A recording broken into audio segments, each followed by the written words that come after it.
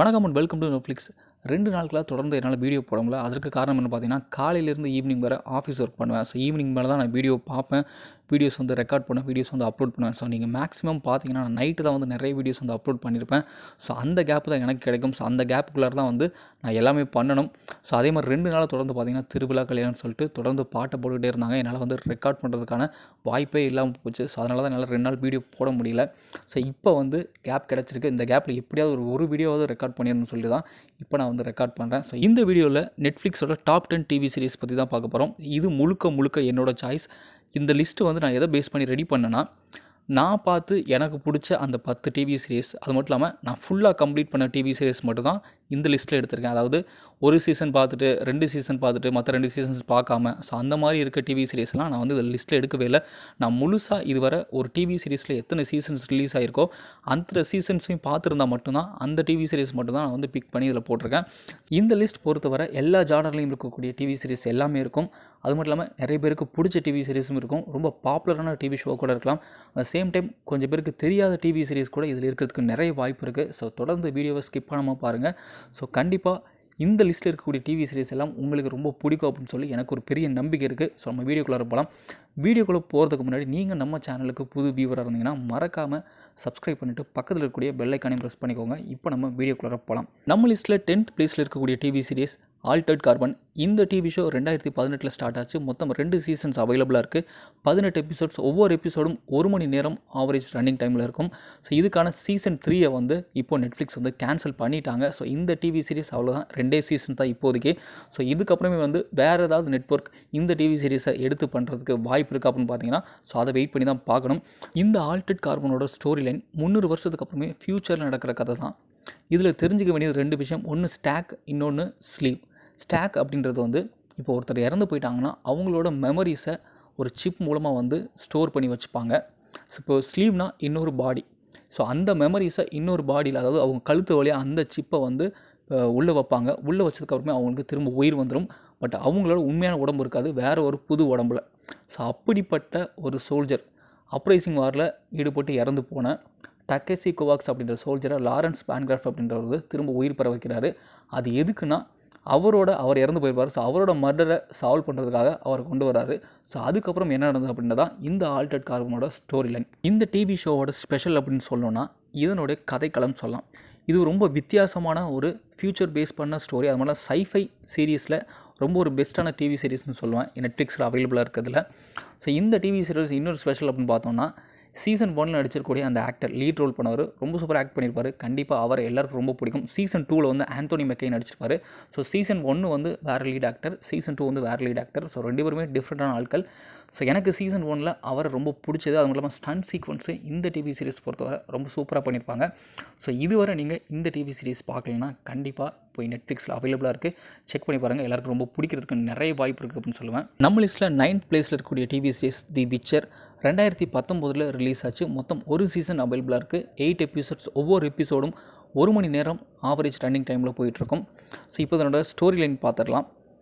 Geralt of Rivia அப்படின்ற monster hunter அவரோட destiny so அதுதான் வந்து இந்த ஸ்டோரி லைன் இதை பேஸ் பண்ணி கேம் ஆல்ரெடி இருக்குது அது நிறைய பேருக்கு தெரியும். அது மட்டும் இல்லாமல் புக்கும் இருக்குது ஸோ அதிலேருந்து பேஸ் பண்ணி எடுக்கப்பட்ட டிவி சீரிஸ் தான் இந்த பிக்சர் ஸோ இதுக்கான சீசன் டூவுக்கான ஷூட்டிங் ஆல்ரெடி போயிட்டுருக்கு ஸோ நெக்ஸ்ட் இயர் வரை இதுக்கான ஷூட்டிங் வந்து போகும். ஸோ அதுக்கப்புறமே தான் சீசன் டூ எப்போ ரிலீஸ் ஆகும் அப்படின்ற அனௌன்ஸ்மெண்ட்லாம் வரும். இந்த டிவி ஷோட ஸ்பெஷல் அப்படின்னு பார்த்தோம்னா கெரால்ட் ஆஃப் ரிபியா அப்படின்ற கேரக்டரில் ஹென்ரி கேவில் வந்து பிக் பண்ண தான்.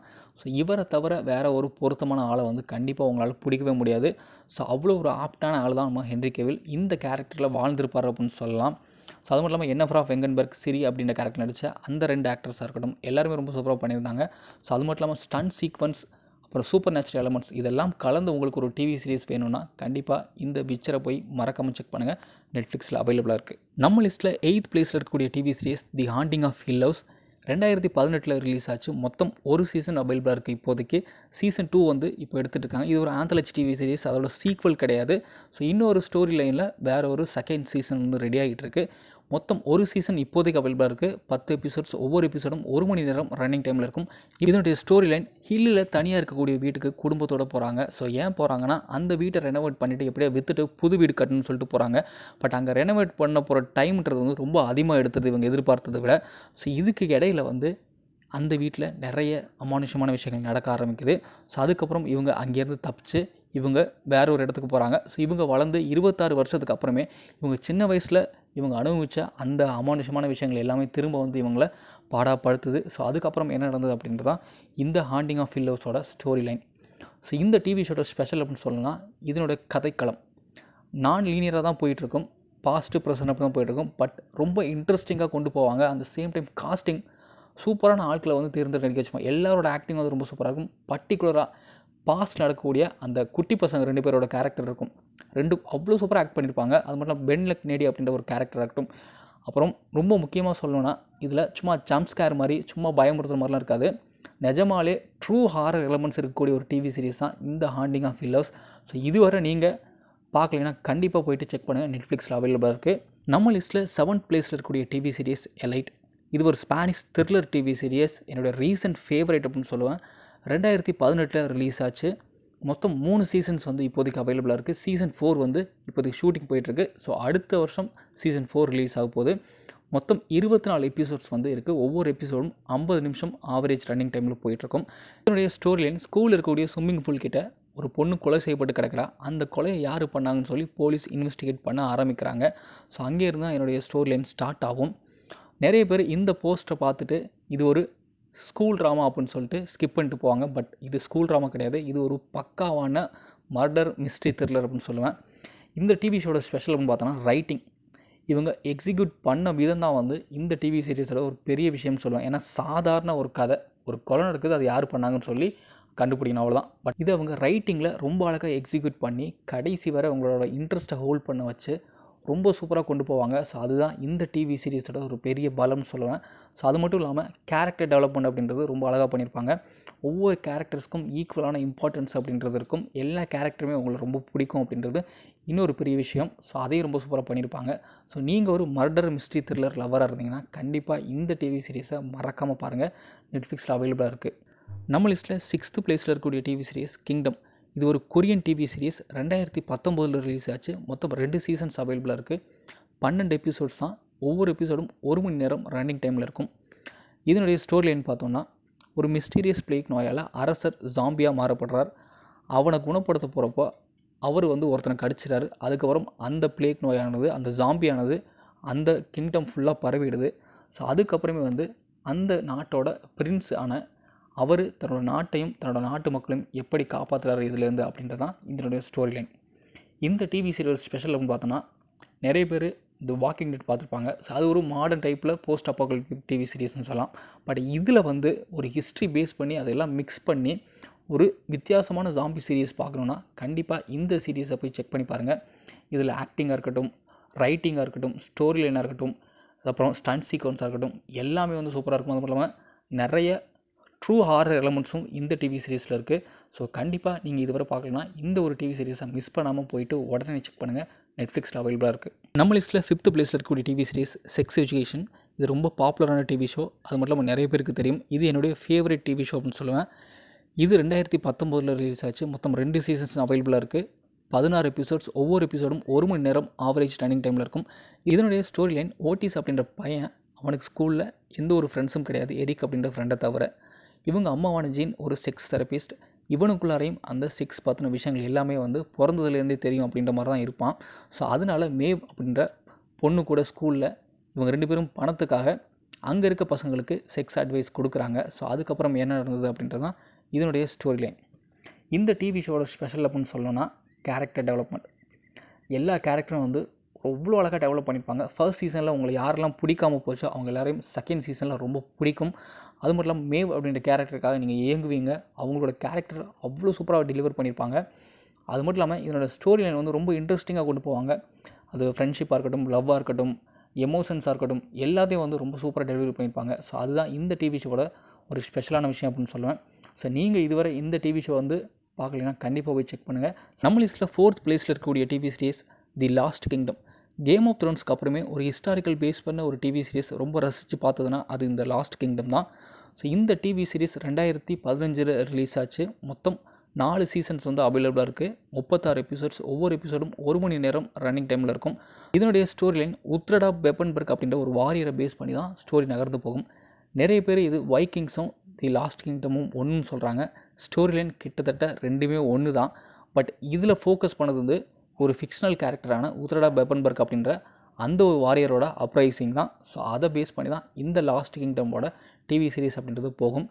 நீங்கள் கேம் ஆஃப் த்ரோன்ஸ்க்கு அப்புறமே வந்து ஒரு வார் பேஸ் பண்ண ஒரு சூப்பரான ஒரு டிவி சீரிஸ் பார்க்கணும்னா கண்டிப்பாக இந்த லாஸ்ட் கிங்டமை போய் பாருங்கள் இதில் வார் போர்ஷன்ஸாக இருக்கட்டும் அப்புறம் அப்போ கேரக்டர் டெவலப்மெண்ட்டாக இருக்கட்டும் ரைட்டிங்காக இருக்கட்டும் ஸ்க்ரீன் பிளேயாக இருக்கட்டும் எல்லாமே வந்து தெரிக்க விட்டுருப்பாங்க. கண்டிப்பாக ரொம்ப இன்ட்ரெஸ்டிங்கான ஒரு டிவி சீரிஸ் தான் இந்த லாஸ்ட் கிங்டம் இதுவரை நீங்கள் பார்க்கலைன்னா கண்டிப்பாக போயிட்டு இந்த ஒரு டிவி சீரிஸ் செக் பண்ணுங்கள் நெட்ஃப்ளிக்ஸில் அவைலபிளாக இருக்குது இந்த லிஸ்ட்டில் தேர்ட் பிளேஸில் இருக்கக்கூடிய டிவி சீரிஸ் வந்து மணி ஹேஸ்ட் இது ரொம்ப ரொம்ப ரொம்ப ஒரு பாப்புலரான ஒரு டிவி ஷோன்னு சொல்லலாம். இப்போ வர நெட்ஃப்ளிக்ஸில் டாப் டெனில் இருக்கக்கூடிய ஒரு டிவி சீரிஸ்னால் இந்த மணி ஹெய்ஸ்ட் அப்படின்னு சொல்லுவேன். இதை நிறைய பேர் ஓவர் ஹிட்னு சொல்லலாம். பட் என்னை பொறுத்தவரை ஒரு சூப்பரான ஒரு ஹெய்ஸ்ட் த்ரில்லர்னால் இந்த மணி ஹெய்ஸ்ட் தான். ஸோ இந்த ஒரு டிவி ஷோவோட ஸ்பெஷல் அப்படின்னு பார்த்தோம்னா இதில் இந்த கதை பற்றிலாம் சொல்ல தேவையில்லை உங்களுக்கு ஏன்னா எல்லாருக்குமே தெரியும். பட் இது ஒரு பெரிய ஃபேவரட்டான ஒரு டிவி ஷோன்னு சொல்லுவேன். ஸோ இந்த டிவி ஷோட ஸ்பெஷல்னு பார்த்தோம்னா கேரக்டர்ஸ் தான். இந்த கேரக்டர்ஸ்க்கான எமோஷன் வந்து உங்களால் கன் கண்ட்ரோல் பண்ணவே முடியாது. கண்டிப்பாக அது வந்து நைரோபி டெத்தில் வந்து நீங்கள் வந்து ஃபீல் பண்ணியிருப்பீங்க சீரியஸாக அதை யாருமே எதிர்பார்த்துட்டு இருக்க மாட்டாங்க. ஸோ அந்தளவுக்கு ஒவ்வொரு கேரக்டரையும் வந்து செதுக்கி வச்சுருக்காங்க. அது மட்டும் இல்லாமல் என்னோட மோஸ்ட் ஃபேவரட்டான கேரக்டர்னால் அது பெர்லின் தான். ஸோ அது ஃபஸ்ட்டு ரெண்டு சீசனில் எனக்கு ஒன்றும் பெருசாக வந்து பெர்லின் மேலே ஒரு பெரிய ஒரு அபிப்பிராயம்ன்றது வரல. பட் தேர்ட் அண்ட் ஃபோர்த்தில் வந்து அவர் ஃப்ளாஷ்பேக் போர்ஷன்ஸில் வரப்போ இதுக்கு எல்லாமே காரணம் வந்து இவர் தான் அப்படின்னு சொல்கிறப்போ ஒரு வேறு மாதிரி ஒரு ஃபீல் வந்தது. பெர்லின் அப்படின்ற கேரக்டர் வந்து கண்டிப்பாக உங்களால் யாரும் வந்து வெறுக்கவே முடியாது. அப்படிப்பட்ட ஒரு கேரக்டராக இருக்கட்டும் ப்ரொஃபஸர் கேரக்டராக இருக்கட்டும். மற்ற எல்லா கேரக்டர்ஸும் வந்து ரொம்ப சூப்பரான ஒரு கேரக்டர் டெப்த் அப்படின்னு சொல்லலாம். ஸோ கண்டிப்பாக இந்த டிவி சீரிஸ் எல்லாருக்குமே ரொம்ப பிடிக்கக்கூடிய ஒரு டிவி சீரிஸ் எனக்கும் ரொம்ப ஒரு பிடிச்ச டிவி சீரிஸ் தான். ஸோ இதுவரை நீங்கள் பார்க்கலைன்னா கண்டிப்பாக ரெக்ரெட் பண்ணுவீங்க. போயிட்டு மறக்காமல் நெட்ஃப்ளிக்ஸில் இருக்குது செக் பண்ணுங்கள் நம்ம லிஸ்ட்டில் செகண்ட் பிளேஸில் இருக்கக்கூடிய டிவி சீரிஸ் டார்க் இந்த டிவி ஷோவும் இந்தியாவில் ஒரு பயங்கரமான பாப்புலரான டிவி ஷோ இதுக்குன்னு ஏகப்பட்ட ஃபேன்ஸ் இருக்காங்க. ஸோ அந்த ஃபேனில் நானும் பொறுத்தேன் எனக்கு ரொம்ப பிடிச்ச ஒரு டிவி ஷோனால் கண்டிப்பாக அது டார்க் நான் சொல்லுவேன். ஸோ அது மட்டும் இல்லாமல் இது ஒரு டைம் ட்ராவல் பேஸ் பண்ண ஒரு வித்தியாசமான ஒரு த்ரில்லர் டிவி சீரிஸ் அப்படின்னு சொல்லலாம். ரெண்டாயிரத்தி பதினாறில் இந்த ஷோ ஸ்டார்ட் ஆச்சு. மொத்தம் மூணு சீசன் ஃபைனல் சீசன் தான் மூணாவது சீசன் இருபத்தி நாலு எபிசோட்ஸ் வந்து அவைலபிளாக இருக்குது ஒவ்வொரு எபிசோடும் ஒரு மணி நேரம் ரன்னிங் டைமில் இருக்கும். இதனுடைய ஸ்டோரிலைன் விண்டன் அப்படின்ற ஊரில் மிக்கல் அப்படின்ற பையன் வந்து காணாம போயிடறான் ஸோ அதுக்கு பின்னாடி இருக்கக்கூடிய மர்மங்கள் என்ன அப்படின்றதான் இந்த டிவி சீரியஸோட கதை. இந்த டிவி ஷோவோட ஸ்பெஷல் அப்படின்னு பார்த்தோம்னா இதனுடைய ஸ்டோரி லைன் அண்ட் ரைட்டிங் ரொம்ப ஒரு காம்ப்ளெக்ஸான ஸ்டோரி லைன் அதை ரொம்ப சூப்பராக டெலிவரி பண்ணியிருப்பாங்க. நீங்கள் ஃபஸ்ட்டு சீசன் பார்க்குறப்போ கடைசி எபிசோடில் தான் வந்து உங்களுக்கு என்ன நடக்குதுன்னே புரிய வரும். அது மட்டும் இல்லாமல் இது ஒரு வாட்டி புரிஞ்சுக்கிட்டிங்கன்னா கண்டிப்பாக இந்த ஒரு டிவி ஷோவுக்கு பயங்கரமாக அடிக்ட் ஆகிடுவீங்க ஸோ அதுதான் இதோட ஒரு பெரிய ஸ்பெஷல்னு சொல்லலாம். மார்த்தா அப்படின்ற கேரக்டர் வந்து கண்டிப்பாக உங்களுக்கு எல்லாருக்கும் ரொம்ப பிடிக்கும். எனக்கு ரொம்ப பிடிச்ச கேரக்டர்னால் கண்டிப்பாக அது மார்த்தா தான் நான் சொல்லுவேன். ஸோ நீங்கள் இந்த டிவி சீரிஸ் இதுவரை பார்க்கலைன்னா அது மட்டும் இல்லாமல் ஒரு டைம் ட்ராவல் பேஸ் பண்ண ஒரு டிஃப்ரெண்ட்டான த்ரில்லர் டிவி சீரிஸ் தான் இந்த டார்க் ஸோ கண்டிப்பாக போய் செக் பண்ணுங்கள் நெட்ஃப்ளிக்ஸில் அவைலபிளாக இருக்குது நம்ம லிஸ்ட்டில் ஃபஸ்ட் இருக்கக்கூடிய டிவி சீரிஸ் ஸ்டேஞ்சர் திங்ஸ் இந்த டிவி சீரிஸ் எனக்கு ரொம்ப ரொம்ப ஸ்பெஷல் அப்படின்னு சொல்லுவேன். எனக்கு ரொம்ப பிடிச்ச நெட்ஃப்ளிக்ஸோட ஒரிஜினல் டிவி சீரிஸில் கண்டிப்பாக இது எப்பவுமே ஃபஸ்ட் ப்ளேஸில் இருக்கும். ஸோ அதுக்கு காரணம் என்னென்னு பார்த்தீங்கன்னா இந்த டிவி சீரிஸ் நான் பார்க்க ஆரம்பிச்சது வந்து போகிற போக்கில் அப்படியே சும்மா பார்ப்பேன் அப்படின்னு சொல்லி பார்க்க ஆரம்பிச்சதான் பட் ஃபஸ்ட்டு சீசன் பார்த்துட்டு நான் பயங்கர எக்ஸைட் ஆகிட்டேன் பயங்கர கூஸ் பம்ப் ஆகிட்டேன் அப்படின்னு சொல்லுவேன். இந்த ஸ்ட்ரேஞ்சர் திங்ஸோட ஸ்டோரி அப்படின்னு பார்த்தோம்னா வில் அப்படின்ற பையன் வந்து காணாமல் போயிடான் ஸோ அந்த பையனை தேடுறது தான் இதனுடைய ஸ்டோரி இந்த ஸ்ட்ரேஞ்சர் திங்ஸ் ரெண்டாயிரத்தி பதினாறில் ரிலீஸ் ஆச்சு. மொத்தம் மூணு சீசன்ஸ் அவைபிளாக இருக்குது ஃபோர்த்து சீசன் இப்போ எடுத்துக்கிட்டு இருக்காங்க. இந்த மூணு சீசன்லேயும் மொத்தம் இருபத்தஞ்சு எபிசோட்ஸ் இருக்குது ஒவ்வொரு எபிசோடும் ஒரு மணி நேரம் ஆவரேஜ் ரன்னிங் டைமில் இருக்கும். இந்த டிவி ஷோட ஸ்பெஷல் அப்படின்னு பார்த்தோன்னா ரைட்டிங் டஃபர் பிரதர்ஸ் வேறு லெவலில் ரைட் பண்ணியிருப்பாங்க. ஸோ இந்த டிவி சீரீஸில் ரொம்ப பிடிச்சது வந்து அந்த குட்டி பசங்க நாலு பேர். ஸோ அவங்களோட character Mike Will Dustin Lucas El அப்புறம் மேக்ஸ் ஸோ இந்த மாதிரி நிறைய பேர் குட்டி பசங்க இருப்பாங்க ஸோ அவங்க கேரக்டர்ஸ்லாம் இந்த ஃபஸ்ட்டு சீசன்லாம் வேறு லெவலில் இருக்கும். செகண்ட் சீசனில் இருக்கும். தேர்டில் வந்து கொஞ்சம் வளர்ந்துருப்பாங்க. ஸோ குட்டி பசங்கன்னு சொல்கிற மாதிரி இருக்க மாட்டாங்க. கொஞ்சம் வளர்ந்த பசங்களாக இருப்பாங்க. பட் ஃபஸ்ட்டு சீசன் என்னோட மோஸ்ட் ஃபேவரட் அப்படின்னு சொல்லுவேன். டேவிட் ஹாப்பர் அப்படின்ற கேரக்டர் இருக்கும். ஸ்டீவ் அப்படின்ற கேரக்டர் ஃபஸ்ட் சீசனில் கண்டிப்பாக உங்களுக்கு இரிட்டேட் பண்ணுற மாதிரி தான் இருக்கும். பட் செகண்ட் சீசனில் ஸ்டீவ் அப்படின்ற கேரக்டர் உங்களுக்கு ரொம்ப பிடிக்க ஆரம்பிச்சிடும் அது மட்டும் இல்லாமல் டெமோகார்கன் அப்சைட் டவுன் இது மாதிரி ஏகப்பட்ட வித்தியாசமான த்ரில்லர் மூமெண்ட்ஸ் நிறைஞ்ச ஒரு டிவி சீரிஸ் தான் இந்த ஸ்டேஞ்சர் திங்ஸ் இதுவரை நீங்கள் இந்த ஒரு டிவி சீரீஸை பார்க்கலைன்னா கண்டிப்பாக போயிட்டு நெட்ஃப்ளிக்ஸில் செக் பண்ணுங்கள் ரொம்ப ஒரு சூப்பரான டிவி சீரிஸ் தான் இந்த ஸ்டேஞ்சர் திங்ஸ் இந்த பத்து நெட்ஃப்ளிக்ஸ் ஒரிஜினல் டிவி சீரிஸ் தான் எனக்கு ரொம்ப பிடிச்சது. ஸோ அது மட்டும் இல்லாமல் இதில் நிறைய பேர் பிகே பிளைண்டர்ஸ் இல்லைன்னு சொல்லி நிறைய பேர் கேட்பீங்க கமெண்டில். பட் நான் வந்து இன்னும் அந்த டிவி சீரீஸ் பார்க்கல. எனக்கு என்னமோ அந்த டிவி சீரிஸ் பார்க்கணும் பார்க்கணும்னு சொல்லி கிட்டத்தட்ட ஒரு வருஷமாக நினச்சிட்ருக்கேன். பட் ஏதோ ஒரு விஷயத்தெல்லாம் தள்ளி போய்கிட்டே இருக்குது அது ஏன்னே தெரில இப்போலாம் வந்து நிறைய புதுசாக வார வாரம் ஏதாவது டிவி சீரிஸ் வந்துகிட்டே இருக்குது ஸோ அதை பார்க்கணுன்னு சொல்லிட்டு இந்த பிகே பிளைண்டர்ஸை இன்னும் நான் பார்க்கல. ஸோ அது மட்டும் இல்லாமல் வைக்கிங்ஸ் தி வாக்கிங் இதெல்லாம் வந்து நெட்ஃப்ளிக்ஸ் ஒரிஜினல் கிடையாது. ஸோ அதனால் அடுத்த பார்ட் டூவில் வந்து கண்டிப்பாக விட்டு போன அது மட்டும் இல்லாமல் அண்டர் ரேட்டட் டிவி சீரிஸ் பற்றி அடுத்த பார்ட் டூவில் பார்க்கலாம். ஸோ இதுதான் என்னோடய பெஸ்ட்டு பத்து நெட்ஃப்ளிக்ஸ் ஒரிஜினல் டிவி சீரிஸ் என்னோடய ரெக்கமெண்டேஷன் அப்படின்னு சொல்லுவேன். ஸோ இதுவரை நீங்கள் இந்த பத்து டிவி சீரிஸும் பார்க்கலைன்னா கண்டிப்பாக போய் பாருங்கள் பார்த்தவங்க உங்களுக்கு எந்தளவுக்கு பிடிச்சது அப்படின்றத கீழே கமெண்ட்டில் மறக்காமல் சொல்லுங்கள் மற்றும் வீடியோவில் சந்திக்கிறேன். நன்றி.